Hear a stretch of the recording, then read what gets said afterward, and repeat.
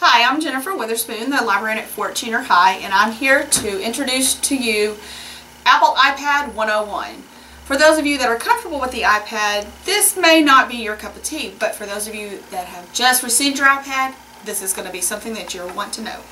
So when you get your iPad, you're going to get this, and it's going to look like this, and you're going to say, that doesn't look like an iPad. Well, this is an OtterBox cover. This is the charger for it. So one of the things you need to know about your charger is it is down here covered by this little rubbery flap, so you want to keep it clean. You'll just plug this piece in. There's a little circle on the top, and that always goes up to the top. Plug it in, and then this piece pulls out and plugs into the wall. So my charge, mine is already charged, so we're going to leave that. Then you have your OtterBox. You pull up on the two sides at a time, and it'll pop up. Now, this you could put to the side. If you have an iPad cart, you'll find that these on the actual iPad will not fit in there. So this sometimes might just never be used. So you put it to the side, you can flip it up to set your iPad like so, or like so. And then you can turn it to lay lay it back a little more. So this might be more leisure reading. So for my purposes, I'm going to turn it up like this. Now, let's talk about the different portions of our iPad. Here, and these are an OtterBox cover, and they are meant to be stuck tight, so you have to kind of pull. This is your headphone jack, where you would plug in for your headphone, or if you had speakers in your classroom, you would put that there. This is your power button. Your camera is right here. This is your sound. And this little piece right here we're going to talk about in just a moment. It could be for locking your screen or it could be for turning it to mute only. And your speakers are right down here. So, your iPad will work any direction it's meant to move with you. So, I'm going to turn it on. At this point, we're going to take a break. And uh, Tanya's going to come around this side. Alright, so we're going to turn our iPad on on top here. And this is the screen that you're going to see. Now, you may turn it on and it does nothing, but there's a little Apple icon that comes up. And uh, give it a few minutes and it'll come up. Up here it tells me that I have 100% charge. If you're charging it, it's going to have a little black lightning bolt. So let's get started. The first thing you're going to do is you're going to have to set up. And you're going to notice like there's different languages down here, but we're, we're fine. It's going to be in English. So slide it to the right. Now you're going to notice this is the setup screen. You want to make sure that you have English selected down here. You're going to push your blue arrow at the top right. And then we want, yes, we're in the United States, so we want to help that. Next. Now we're going to choose a network. Now here's this tricky situation. If you're just setting this up for the very first time, choose Azle Wireless. You will have to put a tech request in with uh, the technology department. They can set you up with Azle iPad. But Azle Wireless will work for right now. And this is your Wi-Fi, and you have to have Wi-Fi on here for it to really work. Next. And so it's going to take a few minutes. and you're going to ena enable location services because this is going to help you later on when you lose that iPad or you misplace it or that student played a dirty trick on you. So we're going to set this up as a new iPad. If this, for some reason, you're having to restore it from backup, that that's another time, but you would use iCloud or iTunes. So if you already have an iTunes account with your iPhone or something, don't don't iTunes back it up here. You want to do with a new iPad. Next. So before you start this, you would want to have an email account. So at this point, if you didn't have an email account, you would go create one. And I do not suggest that you use your school one because you, if you purchase anything of your own, and for some reason you were to leave the district and you use your school email, it wouldn't go with you. So, let's create a uh, free Apple ID. And you're going to need uh, to give it your birthday. So you're going to see how old I am, unfortunately.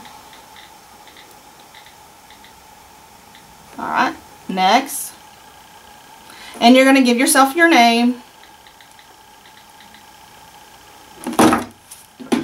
You got to be careful. and next. So I want to use my current email address because it's going to be the, address, the email address that I've created. And I'm going to use um, a Gmail account.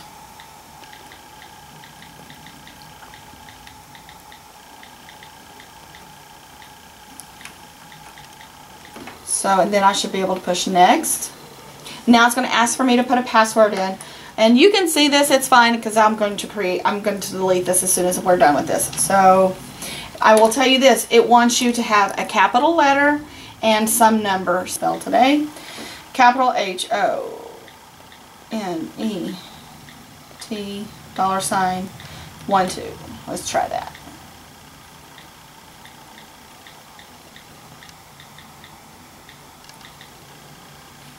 There we go.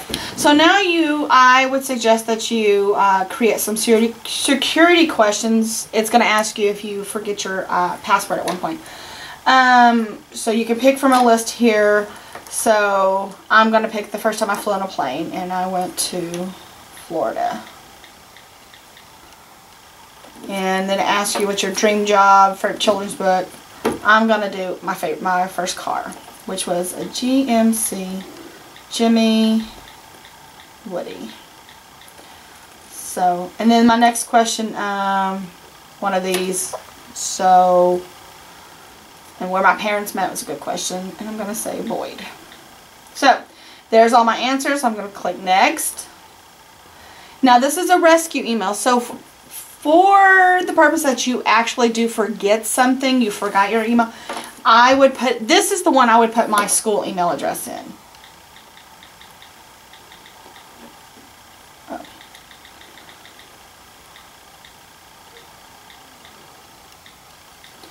And my fingers are pretty big, so this is not uh, for big-fingered people sometimes. And this is at Azle, ISD.net. Next, email updates.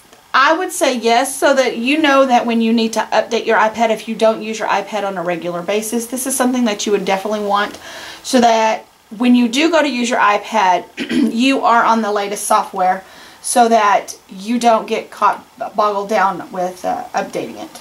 So next, you can send, this is the agreement, you can read all of this. Um, I'm a pretty trusting person, so I'm just going to click, click agree. But if you would like to send this to yourself by email, you can have it sent to you. So we're going to click send.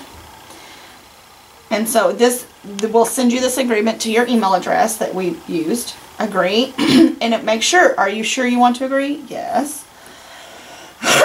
so now it's creating our Apple ID. We will need an Apple ID in order to um, purchase apps and other things for your iPad.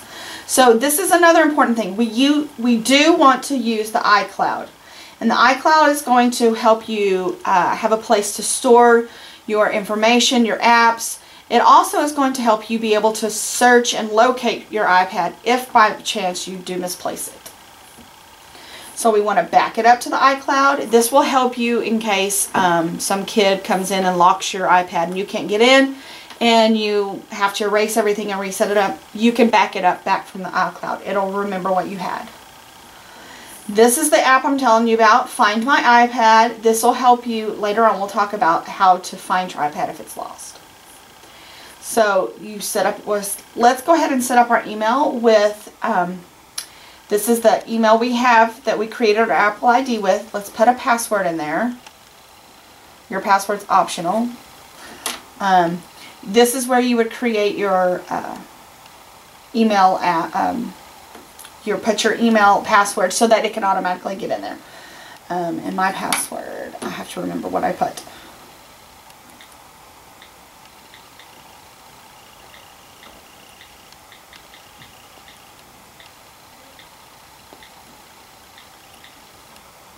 think that was it.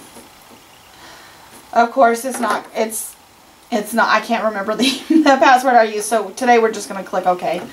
And we're just going to skip this. And it's going to ask us, it should ask us if we want to skip it. Yes, we want to skip it. So, do we want, if we have an error with our iPad, do we want to send Apple the errors and the problems we're having? So we want to say yes, so that hopefully the errors that we're having are typical errors people might be having so they can fix the bugs. That would be why we have updates in software. So we are ready to start using our iPad. And this is what you see. so we have to verify our email address and we'll do that um, later. So all of these apps you see on this screen here, this is what we call the home screen. And you'll notice a little dot down here at the bottom. And the more apps you put on, there's only a certain amount of apps that can be put on a page at a time. So the more little, you'll see as the more apps you put on, the more little buttons you'll get. That means you're going to have several different uh, pages open. Uh, open. Now, if I'm not mistaken, uh, the iPad only goes up to eight pages. And after that, you can still put apps on, but you won't be able to see them.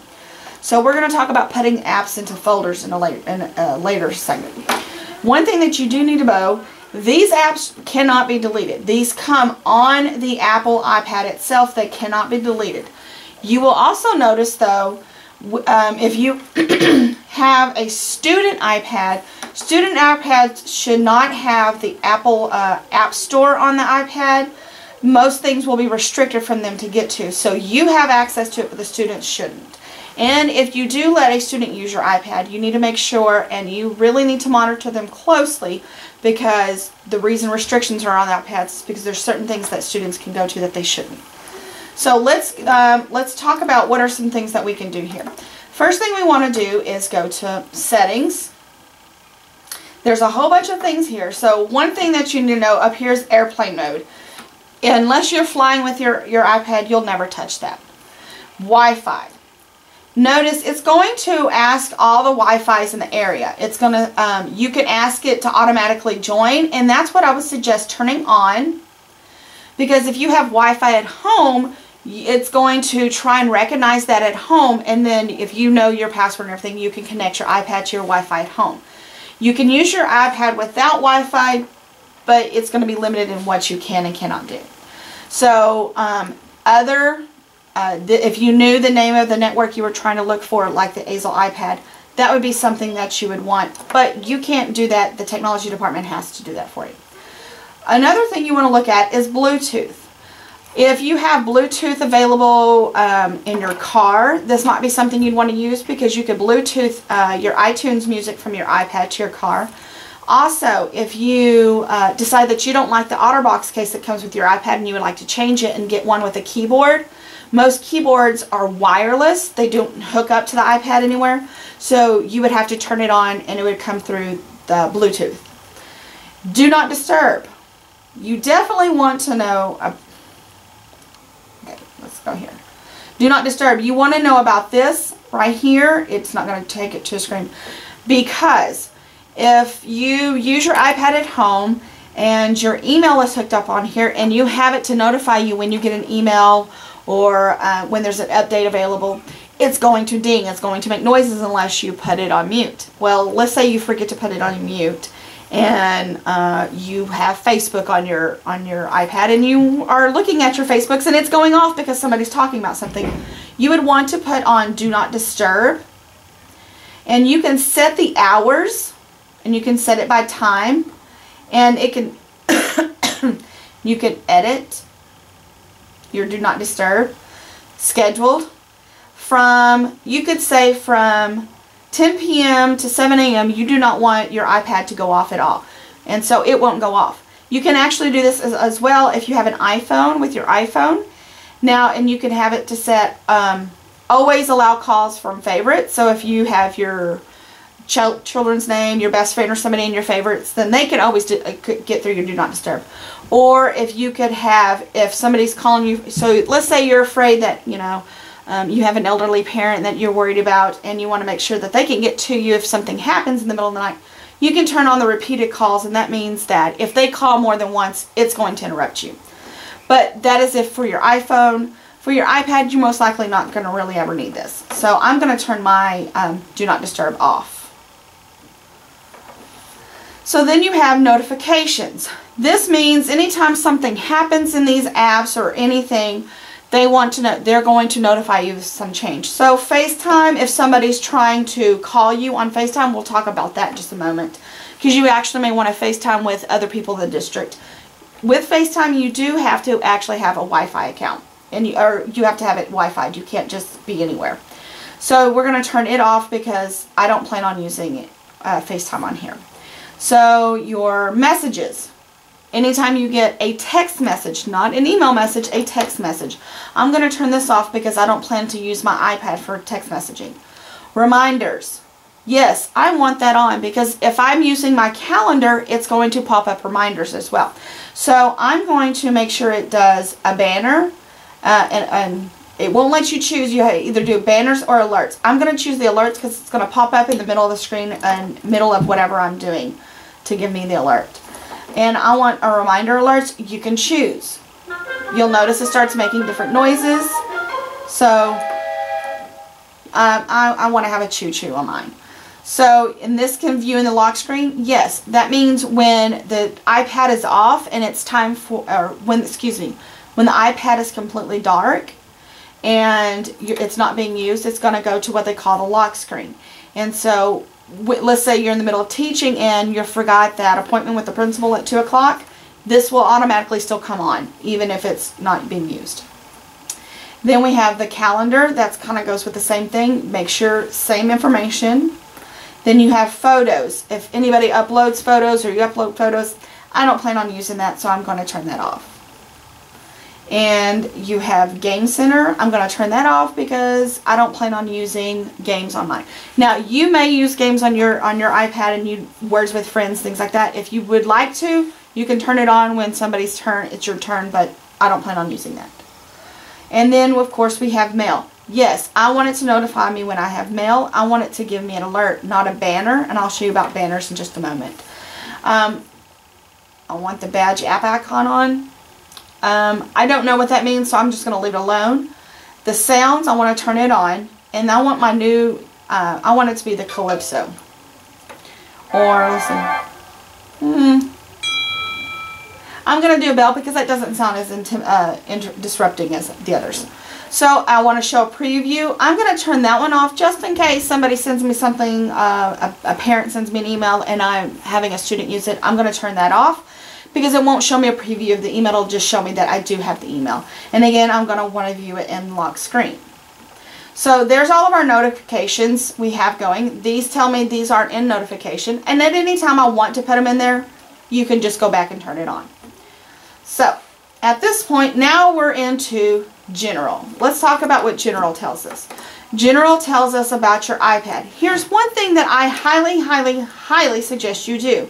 Um, this serial number right here is um, the only way if you were to lose or misplace your iPad and you really feel like maybe you left it at the hotel that you went to the conference at and you feel like maybe the, the, the maid took it or whatever, the only way I, Apple will be able to track it is by this number here. And most people don't know that. Most people don't know to copy that down. I'm going to show you how to take a picture of this and save it and send it to yourself so you'll always have it.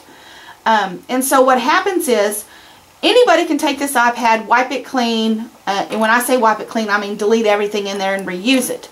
But if this number, if the serial number is reported to Apple as stolen, that person cannot go in and still use that app, the iPad. It'll be completely useless to them because, and then hopefully Apple can track it down for you. So I'm going to show you how to take a picture of that in just a moment. The next thing you have is your software update. This is going to tell you if you're up to date. And you always want to keep this up to date because sometimes apps won't work with older um, software so you need to make sure it's always continuously updating and it sometimes will take a while so you need to make sure and just kind of make sure that's uh, that um, notification is on so that you know when to update it. I suggest you uh, look check it um, at least once a week. In the evening time after school would be good. So then you have the usage. This is what you're going to need to know. This tells me I have no music, I have no videos, and I have no photos in my camera. This is going to be where you're going to spend a lot of your storage is going to be. Notice I have 13.5 gigabytes. I can store, I can have 5 gigabytes for complete free in the iCloud. So you would want to store a lot of your stuff as much as you can in the iCloud so that anywhere you go you can access it because anything you put on here as in music or videos you should be able to if it's in the in the iCloud you can go to any PC or anybody's iPad and locate it so I have no data it's not going to let me click on it I want to know how much battery percentage. That's what that button uh, up there shows me if I turn it off. it goes away. But I want to know because uh, when it gets to 20%, it's going to give you a, a warning and saying, hey, you're, you're running low. So it tells me that I've used it for 26 minutes and it's been in standby for 42 minutes. The next thing is um, your volume purchasing number. That's what VPN stands for. And you're going to want to know that. And that is something that you're going to hear probably sometime next year, especially when uh, if you're a secondary teacher, because the the students are going to be purchasing apps using a, a VPN. So right now, that's nothing for us right now iTunes Wi-Fi sync. That means if you're on your computer and you find a song or you find an app that you like on iTunes on your on your laptop or your home computer, it'll sync to your iPad automatically. It automatically put it on there when you open it. Spotlight search, we're going to it's on and so what that does is when we go and search for something, let's say you have seven pages of 20 apps and you don't have time to go look for it, we're going to do a spotlight search and I'll show you in just a second what that is. Auto lock, this means your screen, if you're not using it in two minutes, five minutes, 10 minutes, or never, um, it will automatically go to a lock screen. And if you're, um, you tend to lay your, your iPads down or lay your stuff down or your keys and you tend to lose things, I highly suggest you put this on. So we're going to put auto lock on and we're going to put the passcode lock on as well. So we're going to turn on passcode and we're going to put in a passcode. It's very important that you remember this number because if you do not remember this number, you're going to end up erasing all your information. You're going to be um, up the creek without a paddle there. So we want to require the password immediately if somebody tries to get on. And we want, we've got the simple passcode on, that's fine. That's the four digit number. If you want to make your life more complicated, go for it and turn that off. So, We want to allow access when the picture and the picture frame. Yes. Um, that means they can take pictures with your iPad even if it's locked, but that's it. They can't get to anywhere. This is erase data. If your information, if your iPad contains private information, emails from parents, things, I might, I would might probably suggest you do that, but um, it's not necessary. So we're just going to keep that off. Then we have iPad cover lock and unlock. This automatically locks and unlocks your iPad when you close and open the iPad cover. And that is talking about the uh, OtterBox. And so that's on. Restrictions. This enables restrictions. That means we're going to have to put our code in. That means we are going to uh, allow or not allow certain things to happen in our iPads. So, for example, one of the things that you might want to know is music and podcasts, explicit material. This says we're allowing explicit material. So let's say you have a teenage son and he downloads the latest rap song that talks about things he shouldn't be listening to or whatever the case may be. You would want to turn this off just in case some student gets a hold of your iPad and listens to your music. But, um, so I'm just going to go ahead and turn that off. Um, in-app purchases.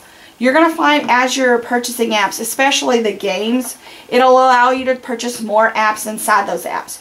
So, um, if you don't ever uh, let young children uh, get a hold of your iPads, this then you can uh, turn it off and it's uh, turn it on and it'll be, be fine.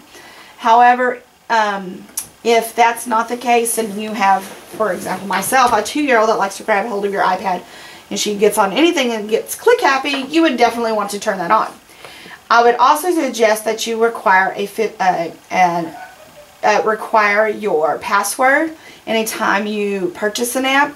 And what this is going to do also, um, if you purchase, if you let's say you're you've got about 15 minutes of your lunch and you want to buy some apps, if you put your password in once, in the next 15 minutes, it's going to remember it.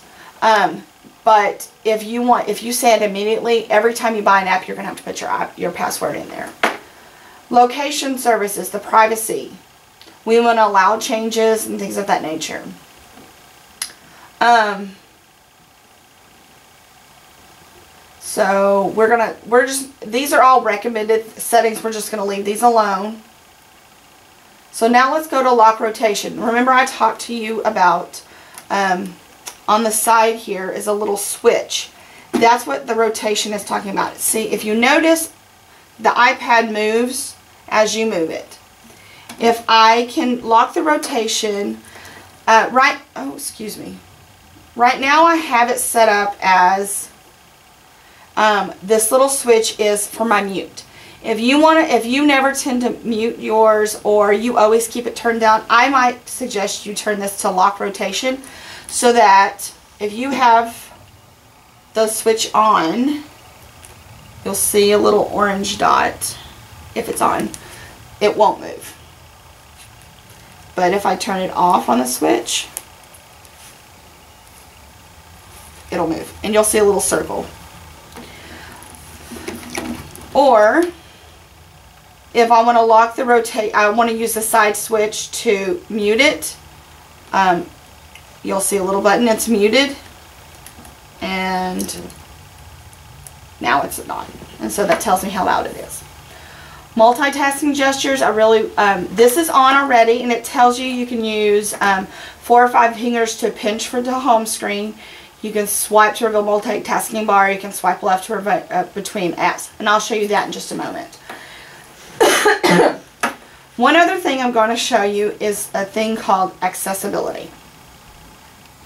Now, if you are a school counselor and you have to do testing or you are a testing coordinator and you have to do tests for students and they have to be able to type their um, test for STAAR writing. This is something you'll definitely want to learn. If you scroll down here on the screen to learning and guided access, you're going to turn this on. We're going to switch it to on. Now, we need to be able to, we need to turn this on and we're going to set a passcode. And I'm just using the same passcode for everything if you'll notice. So, it's set. You don't know that it's set, but it's set. It's, it's listening. And so I'm going to show you about that in just a moment. So we've turned it on and you use it inside apps or on the web. So other things you want to do, this is um, definitely things for special ed departments, um, for students that need extra help with the iPads. This is definitely something you would want to know. VoiceOver. Um, if you you want to hear a voiceover, um, important. VoiceOver changes the gestures used to control iPad. Are you sure you want to continue? No, we're going to cancel that because I don't need that. But this might be something for your kids um, that... Cancel button. Yes. Cancel button. Voice So, okay, we have to... So we've turned that off. But uh, that might be for your kids that need help with um, extra speaking. You can change the rate of the speaking voice. For example, you know, I'm super fast. So you would maybe want to turn my voice down. Typing feedback, another thing you might use for your special ed students. Use phonetics, use pitch change. You can put braille on, all those kinds of things. Um, another thing you can do is zoom in, make your font bigger and larger so kids can see what's visual. Larger text, you can choose your text size. This is really um, more for things like in mail, your contacts, your calendars. We're just, we're going to put it on off because I'm fine with this for right now. My eyes are getting bad.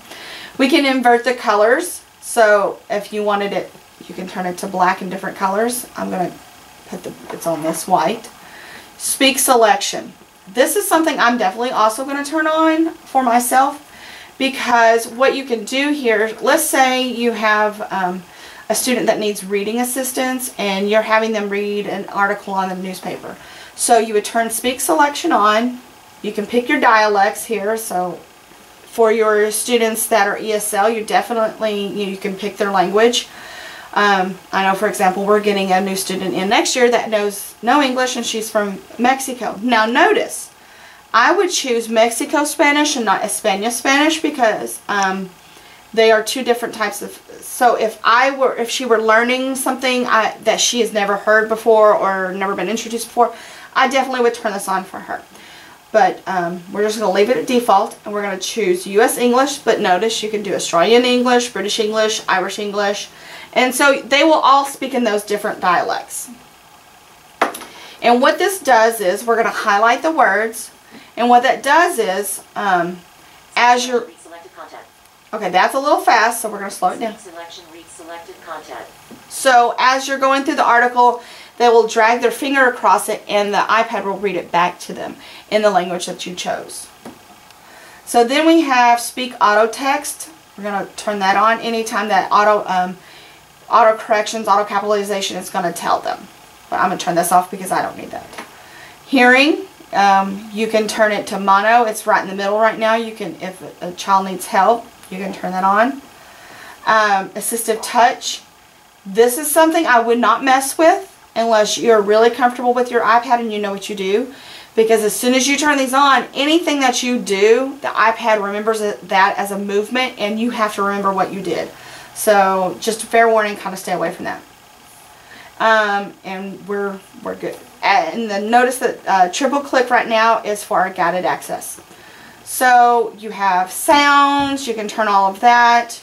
Brightness. So let's say, for example, you're reading an e-bed, uh, an ebook, an ebook inside in bed, and um, your husband, like my husband, he goes to bed early, so he doesn't like a lot of light. So you can turn your brightness down so where you can see it just enough, um, but it's not too bright, or you can turn it up. And that is one of the drawbacks about an iPad in the um, in the bright light of the sun outside. Sometimes it's really hard to see, so you have to play around with the auto the brightness. Your picture frame that talks about if you are looking showing pictures what it'll do. So that's something you might want to play with, but I'm just going to leave it. Privacy settings. Um, this talks about contacts. Um, all of these are considered private. I'm not too sure what this is. We'll have to play around. So iCloud. Let's go in and check our mail. So it's not going to let me check my mail. Notice, because I have not verified my account, it's not letting me do anything. To see how it's all kind of grayed out, once I go in and verify my account, it will let me. Your mail and contacts, I'll show you in just a minute how you can set up your school email address um, on here, and we'll do that. Notes, it tells you um, you can change your font, reminders, messages. Again, remember we said we weren't going to do that. FaceTime, maps. Um, maps you can do miles, or if you're a science teacher, you may want to turn yours to kilometers so your students learn that. It tells you always label in English, normal size. Safari is the web browser where you may be using Internet Explorer or Mozilla Firefox on your computer, uh, the iPads recognize and default to Safari. And they use the search engine of Google. And I'll show you in just a minute uh, where you'll find Google. You do not have to add the Google app. iTunes, let's talk about this. Let's get this set up. So here's my Apple I, uh, ID that I created. And let's go ahead and put my email address in that I had created. Oh, and I remember that we had to do the, the funky S because it wanted a more complicated one. We're going to sign in. Hopefully it's going to work.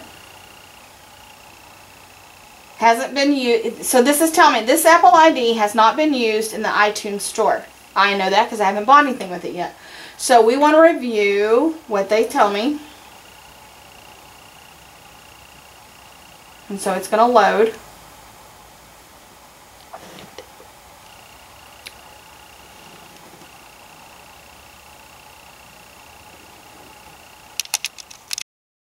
Okay. Okay, so we've set up our iTunes um, Apple ID account. And so now it takes us to the screen and it wants to know, do you want to download these free apps? Um, and yes, because the district is definitely going to be using iTunes U next year. Um, iBooks is where you can purchase books. Um, we're going to talk about different apps for that. Uh, podcast, that's where you definitely would want to maybe be putting some of your lessons. Find My Friends, uh, if you have your children on here or you want to find where your friends are, go for it. You don't necessarily have to. And then, yes, we are going to put Find My iPhone, which is also the iPad uh, app as well. So we're going to download free. It says your apps are downloading. You can continue browsing while you wait or um, for them to finish. So we're going to go OK. Now we want to confirm our country. Yes.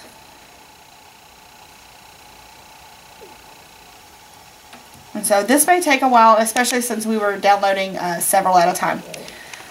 So we're going to let it do its thing. And if it needs us to do anything else, it's going to pop up. So we're going to go, we're going to push the home button down here. Um, this is where we can rearrange our apps and we're going to do that in just a moment. So we're going to dismiss this and slide our finger to the right and go back to our original home screen and click on settings. I want to show you something in Safari that we didn't go over. If you notice this little um, uh, information right here, pop-up blockers or pop block pop-ups. Um, if you are using any web browser or uh, on your PC and you notice that it says allow pop-ups, uh, it's notice it's giving us a cannot connect to iTunes store. So we're going to go, okay, we'll figure that in a minute. Um, anyways, back to this. If you are trying to get on anything and it blocks a pop-up on your PC, it's going to block it up on the iPad. You won't know it, but it's just going to sit there and spin. So you would go here and turn this off. And then when it wants to block something, it's going to ask you, do you want to allow it or not allow it? I would turn this off. You can turn it on, but if you know you're going to use um, a web page or the reason I knew about this is because the databases, some of them are using pop-ups. Um, we would we turn this off. So I have this turned off on my iPad, and I'm just going to leave it that way. Um, the other things that you would notice on here uh, that we didn't go through were music. Um, this home sharing, I wouldn't deal with it. Uh, you're going to get into copyright issues because this is, if you have um, an iPhone, an iPad, uh, and you of your own and you bought music and you wanted them on both, you definitely would want to do home sharing there. But we're just going to leave that. Your videos, um, if you have a video playing, do you want it to start over where you left off? Or do you want it to start from the beginning every time? And photos, do you want it to play like a slideshow or do you want it to stop or you want to do it manually? Um, we're going to... Uh, the other two things I, you can notice down here, Twitter and Facebook are automatics on here. So, so we're going to use our existing Apple ID, which should be what we created. And we're going to try and get logged in here. And hopefully this will work this time.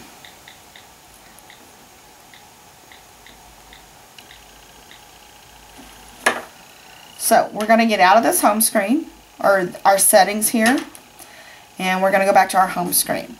So again, remember these are apps that come with the iPad, and they cannot be deleted. Now, if you'll notice this right down here is called the, um, it's kind of like an activity tray, things that you want that you uh, go to always. So you can move these. So let's talk about moving things. Let's talk about um, fixing things up and putting things into folders.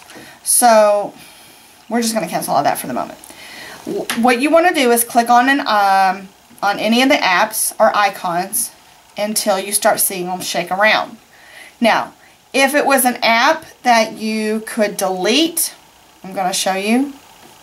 Oh, of course, it's not there. It would have a little X in the top left corner. But um, we don't have anything that can be deleted. But what we're going to do is put things together. So let's say I want my reminders with my calendars. Now notice, all I did was hold my finger on it till it kind of got bigger, drag it over on top of whatever app I want it on, icon, and notice this one doesn't want to go. They're a little finicky, but they go. So I want all this together. You can keep it as productivity name, or you could call it whatever you want. Um, let's say I'm going to call mine uh, note slash calendar. And done. And I think I spelled calendar wrong, but because I'm going to worry about that. We're just going to call it notes. And we're going to be done and click anywhere on the side of the screen. And notice it moves around. So notice it frees up some space on that page. And what you you want to do that because once, like I said, once you get so many pages, the iPad will put the, the apps on there for you, but it won't show them up. So let's talk about, let's say that happens. You And we're going to click the home screen to set everything. So now it's all set. So let's say you know you bought that app, but it's not showing anywhere up on your iPad. So if you take and swipe to the very first page, and let's say you're on the last page, you're on the seventh page of your 200 apps, whatever. If you push that little home button, three, uh, excuse me, push that home button, hold it in, it'll go to the search. This is where that um, in that in-depth search we were talking about earlier was. So let's say you know you you you're pretty sure you bought that that um, let's see iTunes um, iBook app. Well, if you bought it, it would show up in here. So it's not showing up. So let's say we bought remind. We have reminders. I want to know where reminders is. Notice it automatically started noticing what I was trying to look for. Click on it, and it takes me straight to that app. So in here, in the reminders, you can do just about anything, but we're going to get out of this because I'm going to show you what you can do with your school email and your school calendar, and it'll do that for you. Um, so at this point, we're going to take a break. All right, at this point, we're going to take and turn my iPad because this, this to me is more comfortable. So right now, what I'm going to show you is how to set up your email account um, so that it syncs with your, your school email and it also syncs with your school calendar that you may keep on your um, email address. so what we're going to go, we went to settings and here we're going to go back to mail and we're going to click add an account. Now if you'll see a whole list here, um, this is where you can add your Gmail account. Uh, if you created a Gmail, a Yahoo, if you have a personal AOL account, whatever you may use, um, you would choose on one of these. Our school uses Microsoft Exchange. Now here's some things that you're going to need to know and uh, you may want to write these down. So at this point you're going to do your email address. So mine is J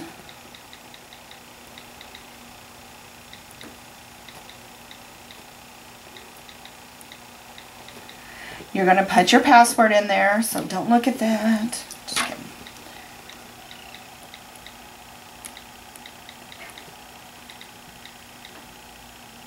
And exchange and next.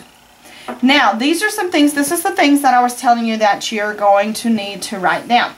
So, the server is mail dot azleisd.net. The domain is Azle. And the username is finicky sometimes, so it wants you to do your capital first initial, capital first letter of your last name. And your password's already in there, exchange, and we're going to click next. Everything's matched up, we're all good. So now what this is going to do, notice it's syncing with my mail. Any contacts that I have in my uh, email address at school, my calendars, any reminders that I've set up are going to be there. So we're going to click Save. And it's all good. So I'm going to click the Home button again to go home. And now I should be able to find my email. Well, I don't see it on here, but it's down here in my, in my active tray. So I'm going to click on it and notice there's nothing there. So we're going to go back to mail. We're going to go to inbox and there should be stuff there. Something's not working so we're going to go uh, back to our home screen and check on settings and see what's going on. So here we're, um, we notice your email exchange should be up here. It's working. I'm going to go back and I'm going to sync my mail for one month because maybe I have some information saved in my inbox. Um, notice my email is going off crazy because now I have 21 emails.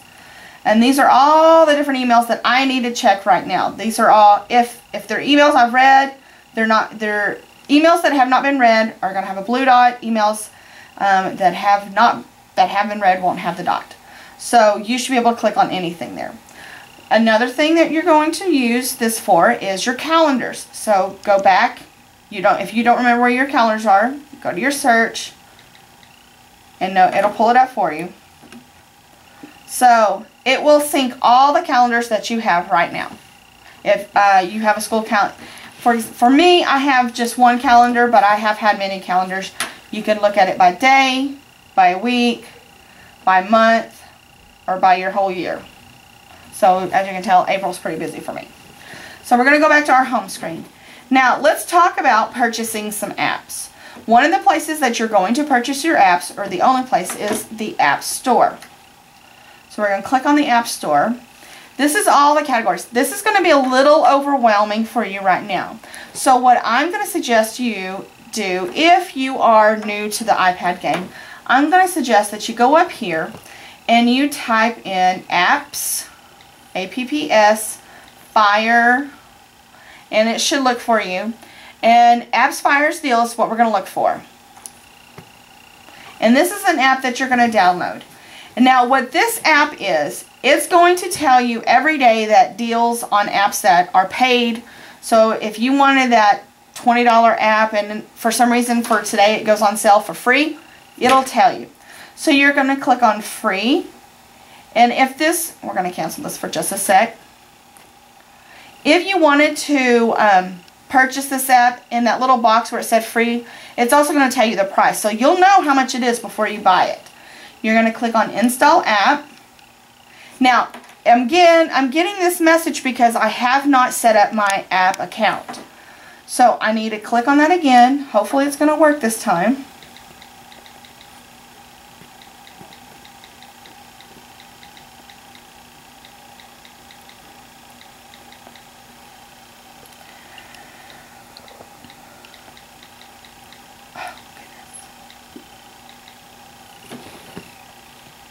It hasn't been used. We're going to review. Hopefully it'll contact and get there.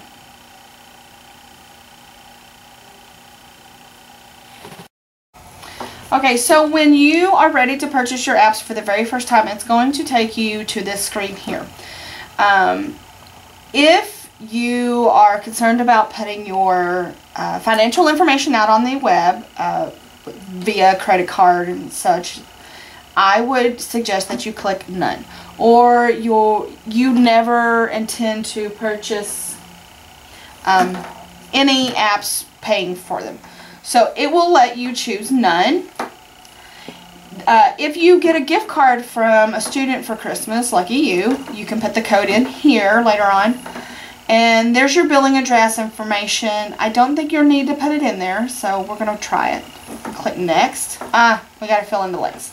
So we're going to put, we're Mrs. our name here. Um, I'm going to put the school's address because I never intend to purchase apps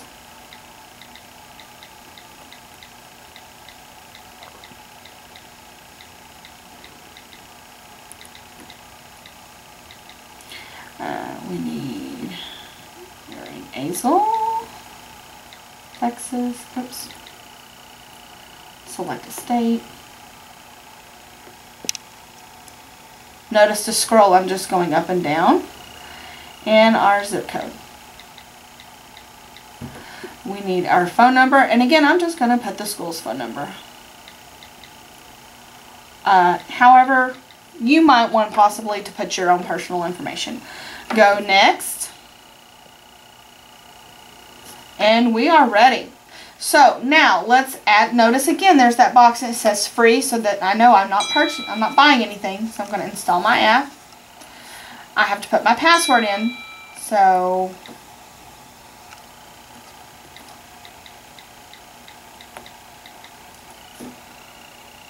and you will notice there's a little status bar here and as it's downloading you'll see more and more close in there's a little blue kind of like it's a temperature thermometer thing uh, and when it's done it will automatically go to this it should go to this app open automatically um, and this app in particular like I was telling you it tells you daily uh, apps that come free or they're reduced in price and you can set it to your specific needs. So if you only want to look for games, it's only going to look for games. If you wanted to look for business, games, educational stuff, it's going to do that for you. And we're going to set that up in just one sec. So, and while that's doing that, you can do other things while it's downloading. So we're going to click this home button here. And it's going to put it on this new page here.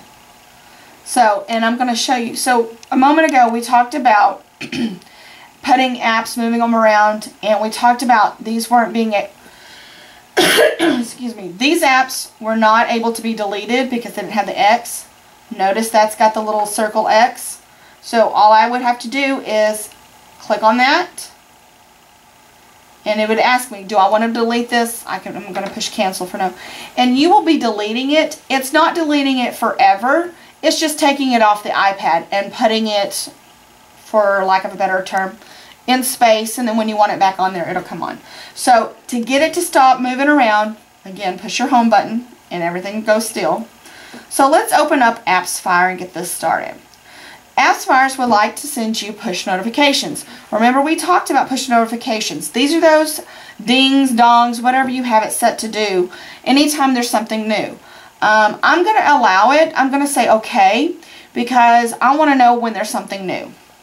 And because I'm the first time I've ever done this, I'm going to click next. Now it says it wants to know about us. Am I a gamer? Do I want to know about games? Not necessarily. So, but I'm a parent and I want to know about student uh, parenting apps. I want to know about children apps. Um, I'm not a student, so that's not going to help me. However, I am going to click on it because maybe it gives me things for my students. Um, I'm going to pick on the professional. I'm a geek because I like new things. I want to know what's out there. If you're an athlete or you're a coach or a trainer, you definitely might want to you might want to have that one. Okay, so you to download apps, you want to go to the App Store. There's two places you can download apps. Um, directly onto your iPad, you're going to go to App Store. Search for anything in here that you would like. Um, the AppsFire I'm going to show you that we downloaded last time is going to give you some suggestions for different apps that you can, um, it'll give you deals of the day, it'll give you ideas of what, what's free out there, what's come free just for the day or so forth. So what we're going to do is we're going to download one more app just to show you. Search what you're looking for. Um, there's one called My. That Miss Anderson just told me about. Script. Calculator. And notice it's going to pop up already.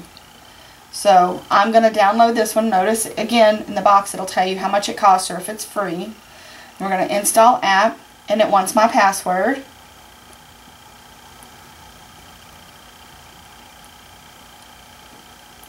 And so as long as that little circle up there is moving around, it's downloading. It's doing something. And we should it should be downloading right here. So it'll load first and then it'll install. So it's going to take a few minutes.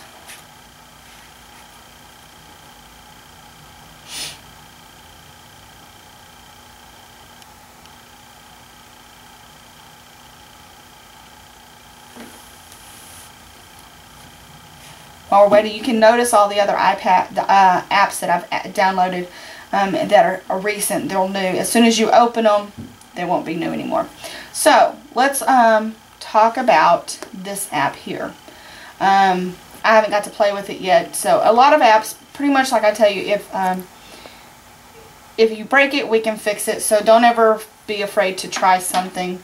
Um, if I'm not mistaken, this takes a math problem and solves it for you. So that's pretty cool. Let's do the square root of 67 over 75 if that equals anything. Ah, interesting. I like that.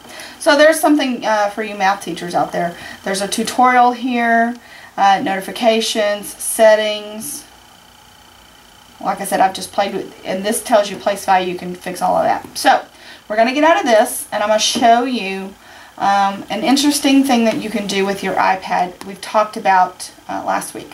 So, when you go to Settings, and you go down here to your General, and you go to Accessibility, and you go to Guided Access, you can... Um, open an app and if you wanted to limit what students can do on this, you would turn your guided access on. Again, we're going to set a passcode. Remember, don't forget this passcode because if you forget it, it you're going to get yourself locked out. So Guided access is on, you don't know. The only time you're going to know if guided access is working is if you open an app. Let's open our calculator app again. And we're going to push the home button three times. One, two, three. And notice we have this that starts. We have the assistive touch, which is what we, uh, we're going to do in just a second. I'm going to show you.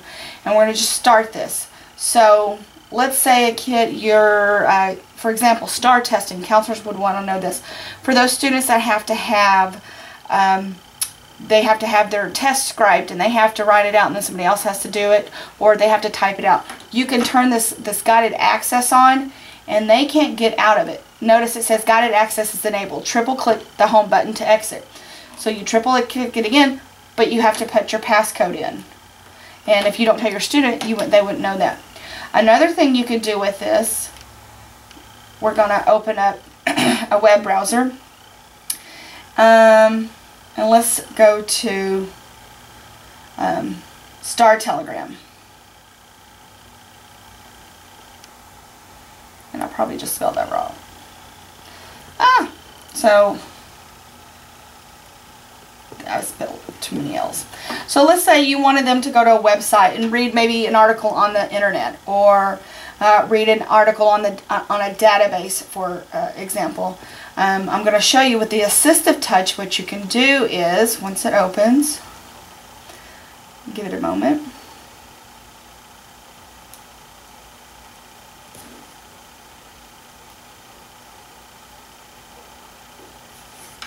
Course, technology is slow when you need it to be fast.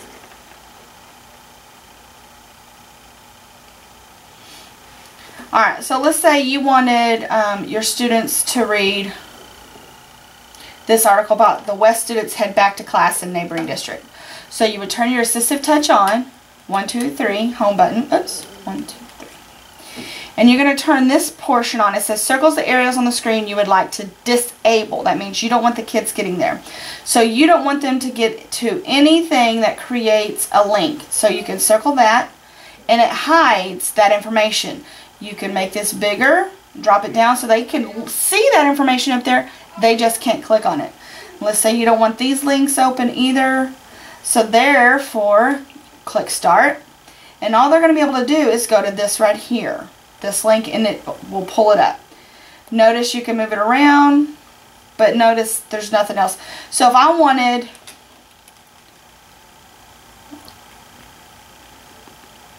let's say um, Oh, see, I've got to wait 10 seconds. I put the wrong passcode in. So let's say that I was the teacher and I decided I didn't want these links. I would make sure and just cut out what I want the students to look at.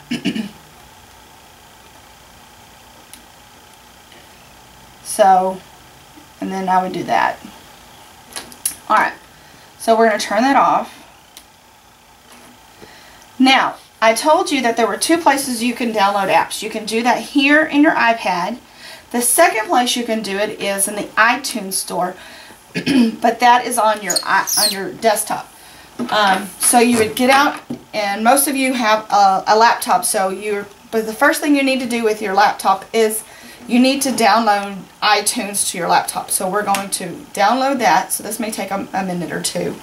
So, all right, to, uh, to download this, it's going to ask you a few questions. Do you want it to email me new on iTunes and special iTunes offers. Um, I'm going to click no because I don't, I've got enough junk mail. Do you want to keep me up to date with Apple News? No, I don't care. I'm going to put my email address in here.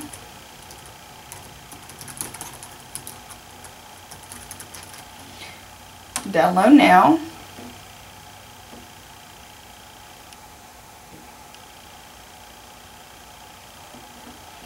And you should find Notice it's working. There should be a iTunes icon that comes up on your um, desktop. It's not there yet because it's not completely fully downloaded.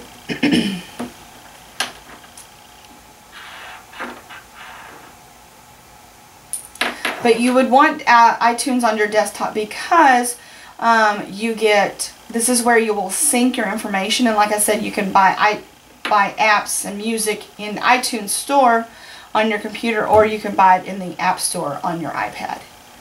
So let's go here. I don't see an icon so I'm going to go to my start menu and I'm going to put in iTunes and it should find it for me. It's going to look for it.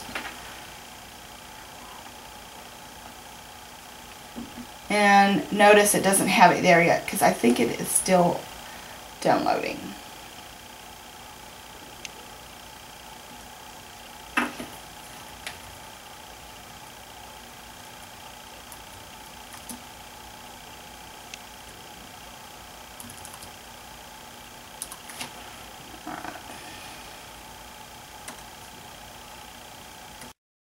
Okay, so when everything is downloaded, um, if you've noticed just a moment ago, I use Mozilla Firefox as a web browser. Uh, a good portion of you are probably using Internet Explorer, and just go through the download steps for downloading the, the um, actual information. So this is what you're going to get. Um, it gives you the welcome screen. Do you agree to share details about the library? Blah, blah, blah. We agree to all of that. We want to go to the iTunes Store. Now, iTunes, um, again, if you're if you're buying apps, you really most of the time you most likely want to buy them on your actual iPad itself. But let's say that you're buying music that you would like to play in your classroom while your kids are studying or practicing or some sort. You definitely want to use the iTunes store on your laptop. Um, if you have CDs or music that you've always used in your classroom and you want to put them on your iPad, this is the place you would go to. Um, there's TV shows, movies, books, Anything you can buy on your iPad, you can buy on the iTunes store. So what you would want to do is, with your power cord that you have, um, detach the USB section from the power, power bar, plug it into your laptop or your computer, whichever you're using, plug it in like you're going to charge it on your iPad, and then your computer should, in theory, recognize it. Notice mine, uh, it's installing the device driver, so it's looking for it right now. And hopefully it'll pull up. And what'll happen is, um, whatever I have on my, I, my iPad will be here in my iTunes. So in order for it to do that, I'm going to log in.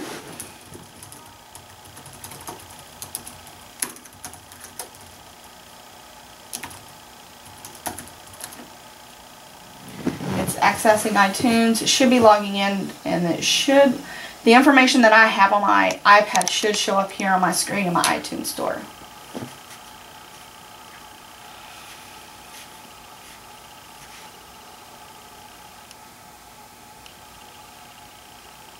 And this is just another way for you to back up and save whatever you have. So, for example, if um, you had to restore your iPad. For some reason you you got locked out of your iPad and you had to completely shut it down and wipe it. It's stored here in your in your iTunes store in your iTunes account.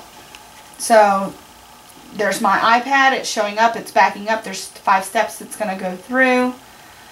Um, it's looking for anything that I might have in there. It's preparing to sync it so right now it's syncing anything that I have on my iPad. If I have music, movies, TV shows, apps, books, whatever the case may be. It's looking for all those on the actual iPad and putting it here in my iTunes account. And so what this can do is if you have, let's say you have an iPhone, um, this is one of the reasons I told you to create a separate account than your iTunes uh, on your iPhone account, simply because you would have something um, that you would have personal going to school and you just wouldn't want anything um, mixed matching or going back and forth. And if you'll notice on here on your iPad you have this little arrow that keeps moving around in a circle. That means it's syncing. So, which is fine. You just want to make sure that as long as it's doing that, you anything that you add, it's uh, you need is going to slow the sync process down. And sometimes you're syncing, because this is the first time I have synced my iPad, it's going to take a few minutes.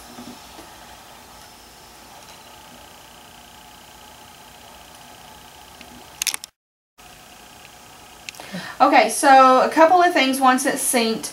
You're going to see that I have a good portion of video on here, which um, I don't know what it is, but we'll look.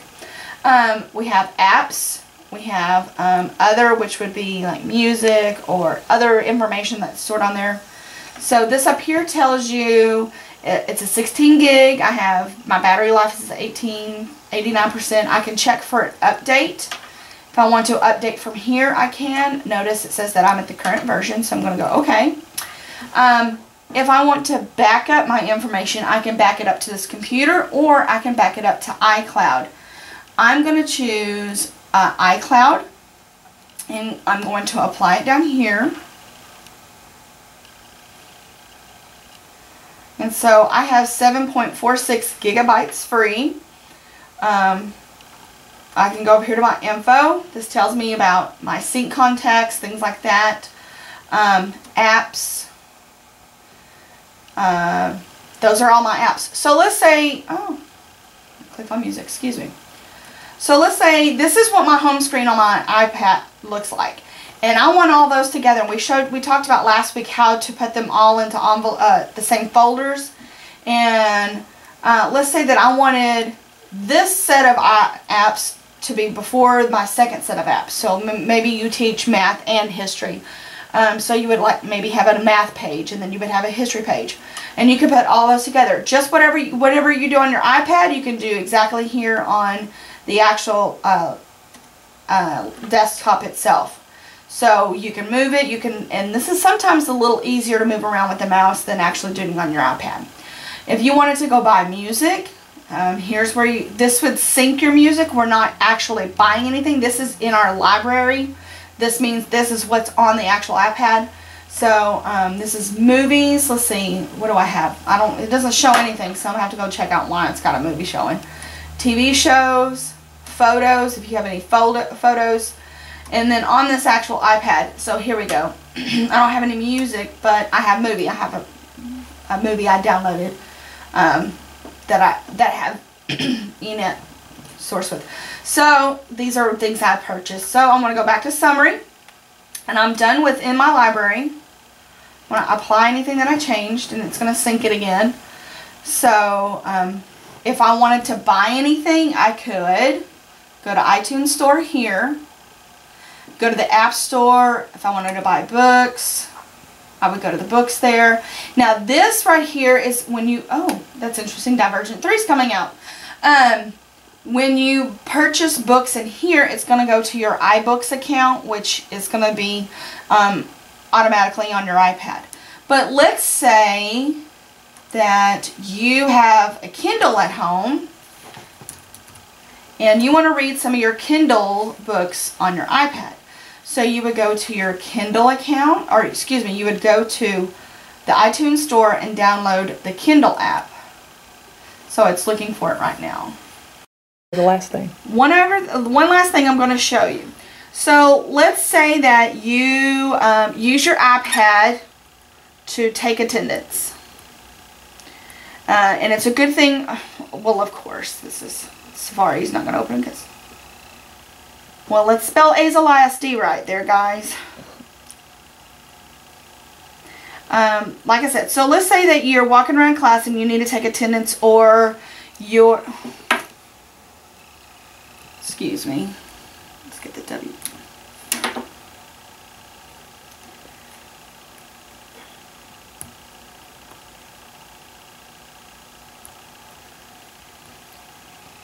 There we go.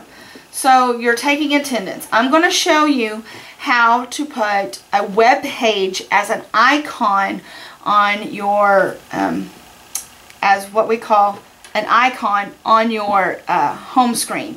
So you, I'm going to show you for your attendance.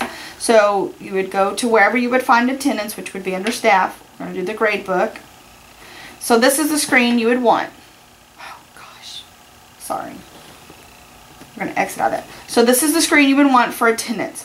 Does ever you see this little box with an arrow? You're going to click on it and we're going to go to add to home screen.